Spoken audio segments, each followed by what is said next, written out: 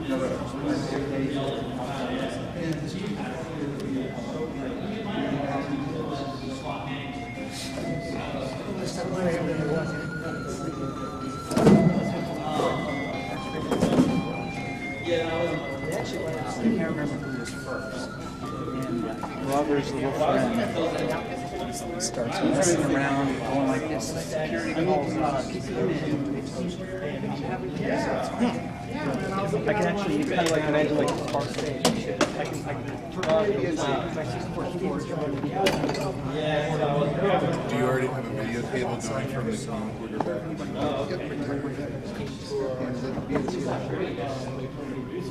Ah, okay, okay. Yeah, the thing I got came from Spain. It still took a couple weeks to get here. But it was like 70 bucks to ship, so it wasn't too much. That- I thought it was like 150. That's a great deal.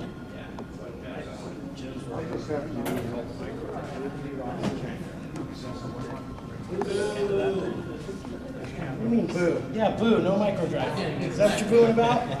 Yeah, because I had to choose between a Y modem and a micro drive.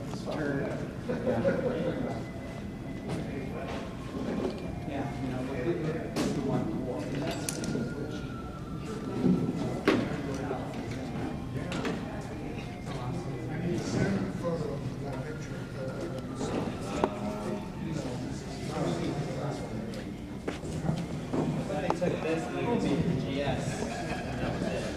You know, the game one.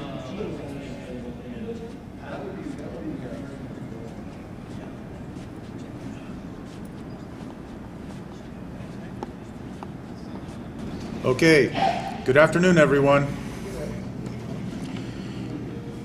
Just very briefly, I'm going to tell you a little bit about uh, my VIC-20 and uh, some of the things that I've done with it. Um, I haven't really done any major modifications that would affect the performance of the VIC much. Um, mostly what I've done is preventative maintenance because after all it is a 30 to 35 year old machine. So uh, you know, sometimes we need to be uh, a little cautious. But uh, what we've got here, um, it uh, essentially is, is just what it looks like. It's a fire engine red VIC 20. Um, my uh, my son Vincent has a very nice VIC 20 on display over there and was using it pretty regularly until smoke came out of the keyboard one day. So we decided that we weren't going to use the nice VIC 20 as our daily driver. So uh, that being the case, I uh, went into our user group storage and had Robert help me pick out a VIC 20. He found a nice one for me, and I said, No, no, I want the most horrible looking, sunburned, yellow, nasty, brittle, falling apart VIC 20 I could get my hands on. And he looked at me kind of funny, and we found the nastiest VIC 20 in storage. I decided it just needs a little love. So I took it apart all the way down to the uh, bare plastic of the case. Um, I scrubbed it in the sink and took it outside, let it air dry, and then hit it with uh, some of that red spray paint that was meant for sticking to plastic patio furniture. Figured, uh, you know, gonna seal up and protect, you know, old brittle plastic. You may as well do it with a little bit of style, right? So. Uh, since then, we've put a fair amount of use on it. It's got some good scuff marks on it. It needs to be repainted, but I think I'm going to leave it the way it is because it's just love. But anyhow, uh, the brown keyboard looked a little strange against the red of the case, so I put the white keyboard from a spare 64C in there, and there it is. This is our daily driver VIC. So uh, when you take it apart, you know, like any VIC 20, you would just remove the three bottom screws. Okay, I've already got them taken out. You want to go ahead and open the lid. Got to be careful because the uh, the hinges on the plastic on the back are uh, usually pretty brittle due to the age. But okay, this is what we've got inside here. You can see I painted it inside and out, so even if you look down through the vents, it's all red. You don't see any of the white poking through anywhere except where I scuffed it and used it. But, Okay, what we have in here, this is a uh, VIC-20 cost-reduced model. It's the shorter board, uses fewer chips, uh, has the round power supply connector, so uh, same connector as a Commodore 64. Um, these do not have the internal power regulation like the original two-prong uh, power connector on the, Vic, uh, the first VIC-20s. Have some background noise. We have a problem. But, uh, all right.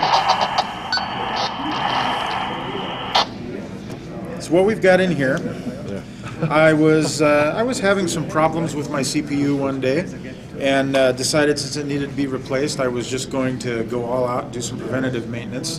So it was something that I wouldn't have to do again anytime in the immediate future. So um, underneath this heatsink right here, uh, you can't really see it, my apologies, but uh, we have a Rockwell uh, 65C02 uh, rated for 4 megahertz, running at the stock 1 megahertz of the VIC. So you can imagine uh, this chip never heats up.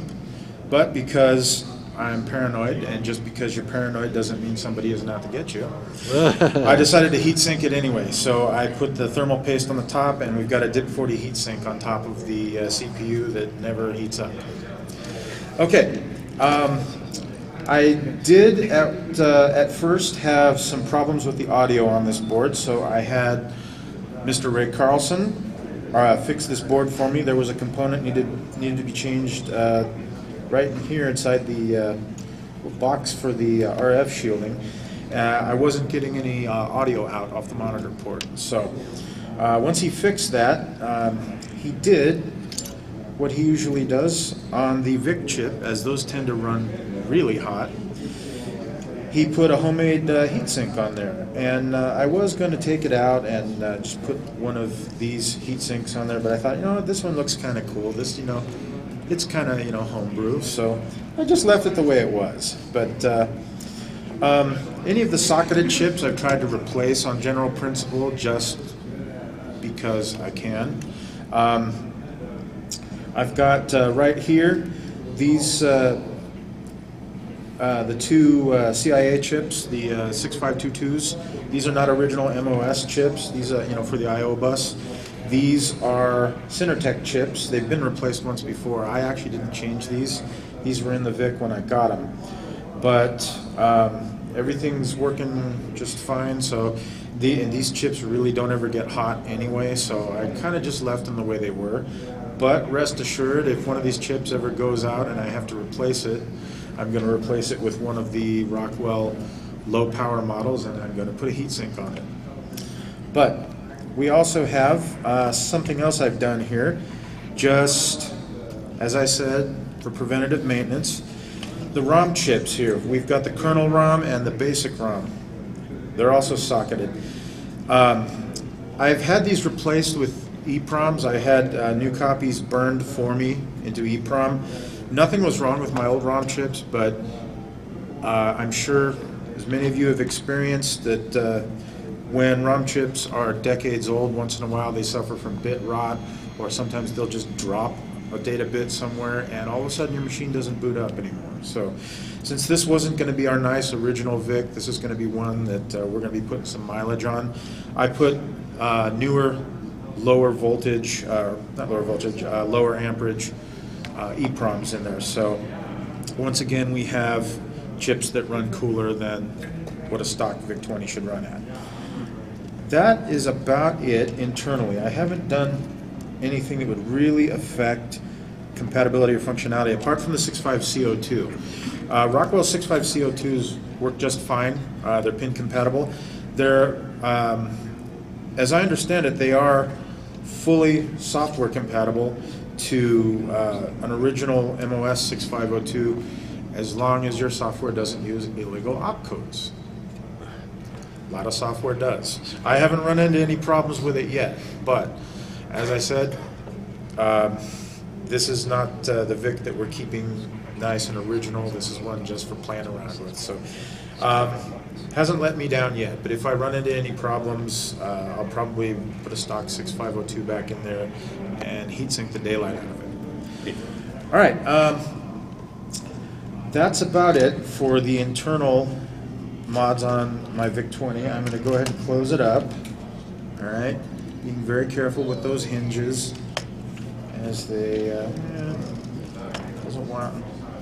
it's not lined up just right, but that's all right. I'll put it. All right, close enough for now. Okay, because we have the round power supply connector, uh, typical on a Commodore 64, uses some a power supply that's similar to a stock Commodore 64 power supply. Uh, problem is, stock Commodore 64 power supplies can be kind of flaky. So um, I use this power supply here.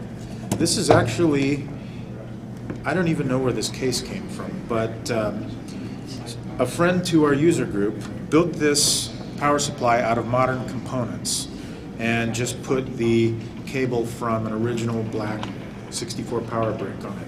I was going to open this up and show you what the inside of the power supply looks like, but I've got some cracking in the plastic right here. I didn't want to force it.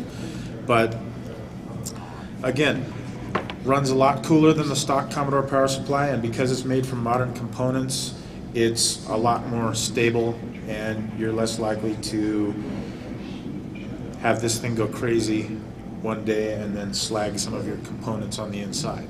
So, um, that is about it for our VIC-20. Not too much, uh, not too much uh, functionality-wise that I've done to it um, that would affect compatibility or operation. It's mainly just preventative stuff because this is the one that we put all of our mileage on.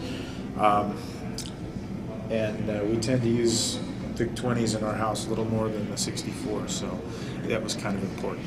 But uh, for now, that's about it. Um, underside, I probably should have shown you this first. Underside, um, a little scuffed up, like I said, but hey, love marks, right? I took the label off and I put it back on while the paint was still tacky, so that's not coming off again. Um, and then I replaced the rubber feet with silicone feet, so uh, hopefully they'll last a little longer and not suffer from the uh, crumbling rot thing that rubber feet tend to do after uh, a number of years and being exposed to uh, temperature and humidity and things like that. But Yeah, you can get those at, at Home Depot. They make them, they're exactly the same shape as the ones that come on the VIC 20 and the Commodore 64. there we are. Replacement rubber feet can be acquired at Home Depot. You heard it here. Okay, uh, anybody have any questions regarding any of the fun little things I've done to this poor thing? I want to say this poor thing because it's not, uh, it doesn't look like a stock VIC 20, but it didn't look like a stock VIC 20 when I got it, so nothing lost, I think. You said you use the VIC 20 more than 64. What do you use, use it What do we use the VIC 20 for? Well, um, tootling around in BASIC a lot. Um, excuse me. Most of the things I do in, uh, I don't do a whole lot with BASIC, but most of the things I do are pretty small. They're pretty, you know, quick onesie twosie kind of tasks. So um, the VIC 20 is, is fine for that. And uh, one of the reasons why um, uh, we also, you know, we play games and you know, mess around and do things like that. One of the reasons I was kind of, I put the mileage on the VIC 20 is because I also have, between my son and myself, we probably have seven or eight C64s, and probably one or two of them work perfectly well. The rest of them are in various states of non-working status. And because, um, as I was showing some of these uh, chips on the inside that were uh, licensed by MOS um, to be produced by Rockwell and Synertek, there are replacement chips for the VIC-20 that are out there available on the web by the thousands. Uh, we've got a gentleman over here that has uh, many thousands of uh, the Rockwell 6522s, brand new, old stock, that he sells on eBay. They're uh, very readily and easily and inexpensively acquired, whereas the chips that go in the C64, like the 6510 CPU, um, the uh, the uh, 6581. Yeah, 6581, of course, the SID in high demand. Um, the 6522s, I don't know if I call them CIA, I think they're VIA chip. They're VIA chips. Fifteen forty-one. Yes, they're, they're, they're VIA uh, controllers. We have the ones uh, that go in the 64, the 6526. uh, is, I believe, the CIA. And it, those are not available anywhere. MOS was the only company that ever produced those. Um, I've, I shouldn't say they're not available anywhere. I did find them uh, from uh, electronic surplus suppliers in China, but they always want, you know, at least, oh, I don't know, six or eight dollars a chip for those things, and you know, and they want a minimum order of, you know, fifty units or something. So it doesn't really make sense for you to plunk down, you know, three hundred dollars to, you know, get a single C64 working, or even half a dozen of them. You know what I mean? Um, so we kind of put any of the wear and tear on the VIC 20 that we can because the chips inside there are easier to come by. That's that's mainly the reason. You know, when you sit it side by side with a 64, we're certainly not using it for the graphic or sound capability. It's just for some of the fun playing around. And uh, so my 64s, I use them for things that can only do with a 64. If it's something that can do, you can do, you know, either way. I tend to put the mileage on the VIC 20 because, like I said, a little easier to maintain. Have you thought about putting a computer saver inside the machine to uh, protect from any uh, high voltage uh, spiking from the power supply? Have I thought of putting a computer saver in there? I have. I've not gotten around to it. I was thinking one of the internal ones, um, but because I'm not handy with the soldering iron, I've been kind of hesitant because I'd have to, I'd have to uh, box this up and send it to Ray Carlson and have him install one, or I could order the computer saver from him and then have to try to find someone to install it for me. Um, Well, he does have external computer savers. Yes, I've got one of the external ones myself, but it kind of stays attached to my C64. Oh, okay. So, yeah, I've, I've considered adding one in here, I just haven't gotten to it yet, but it, it's a definitely good idea, even with a power supply like this one, which is much more stable than the Commodore original. You still have, you know, you still have room for uh, things to go wonky on it, so. What about Jiffy DOS? Jiffy DOS, I don't really know Jiffy DOS, so I haven't, uh, I've got Jiffy DOS for the VIC-20, I just haven't put it in. Oh. I've been kind of hesitant there because I'm not very familiar with it. But, uh, yeah, one of the things I've kind of got planned eventually. Uh, have you thought about putting in an S video mod from Ray Carlson? Ray Carlson S Video Mod. Um, I do have um, one of the drop-in S Video uh, upgrades. I haven't put it in yet. Um, it doesn't require any soldering skills, but you know, it, it leads to having a cable that kind of hangs out the back somewhere.